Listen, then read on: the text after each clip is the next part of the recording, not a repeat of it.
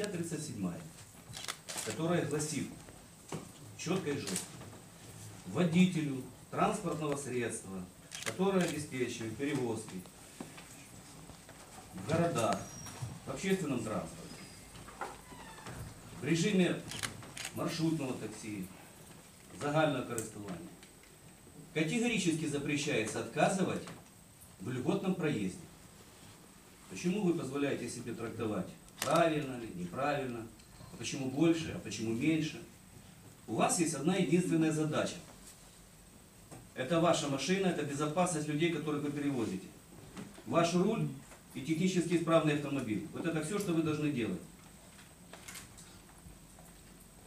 А вы доводите людей до того, что они вынуждены покидать автобус.